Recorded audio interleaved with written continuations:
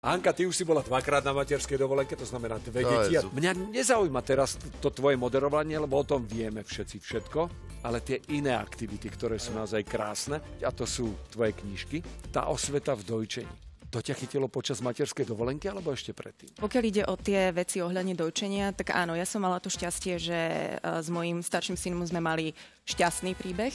A v podstate tak všetky moje kamarátky sa začali na mňa obracať, ale ja som im nevedela odpovedať, ja som vedela hovoriť o veciach z nejakej našej skúsenosti alebo praxe. A v podstate som tak dospela k tomu v priebehu možno nejakých dvoch, troch rokov, čo som bola mama, mm. že by som chcela vedieť pomáhať naozaj aj profesionálne ženám. Aj sa tomu budeš venovať e, ďalej, že budeš taká mentorka v tom a Zatiaľ, keďže nemám možnosť pri menšom synovi to robiť nejako aktívne vo forme osobných poradenstiev a chodiť za ženami domov, fungujem v rámci podporných skupín dojčiacich matiek, kde si môžem zobrať to dieťa aj so sebou. Keď už sa budem môcť na chvíľočku dostať od, tých, od tých detí na dlhšie, tak určite chcem a chodiť aj budú domov. Hankyne knižky aj o tomto?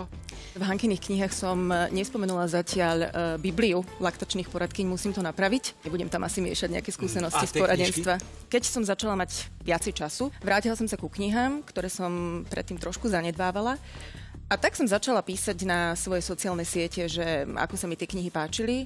A tak sa Adam rozhodol, že urobí mi facebookovú stránku, ktorá sa volá Hankine knihy a tam vlastne teraz už, keď niečo prečítam, tak také svoje dojmy z toho uverejním. Čo myslíš? Bude ešte dcera? Všetci si u nás objednávajú tú dceru a stále to počúvame, že teda ďalšie chceme dievčatko. Momentálne nie sme nejako v takej situácii, že by sme si povedali, že chceme cieľene tretie dieťa. Samozrejme, keby sa, keby sa stalo, tak by sme sa aj potešili. Adamov otec má troch synov a jednu dceru, tak predpokladáme, že asi až ten štvrtý pokus sa v rodine Zavželovcov darí. Držíme palce. Tak uvidíme.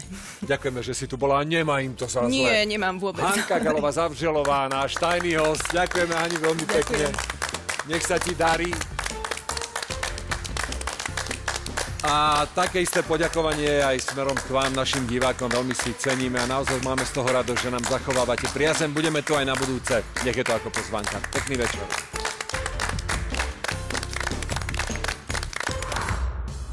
Prosím ťa, vymenia mi tie baterky pomaly opatrne, lebo som na to veľmi cit... Došli mu baterky úplne, pozri. Dobre. Fúj, aké si mi na baterky, dobre. Vymente baterky Vladkovi, nech mu to dobre svieti. Toto je postoj zadkový, pozerajte milé deti. Ešte dvakrát, trikrát poviete cik a ja budem musieť ísť na vecko. Akože, cik, cik, cik. Keď som mal väčšie problémy s prostatou, tak neviem, neviem. Cik, cik, cik, op, hop, hop, hop, hop, hop, cik, cik, hop, hop, cik, cik, stop, stop, stop, stop, stop, stop, cik, cik, cik, a už ide prostatik.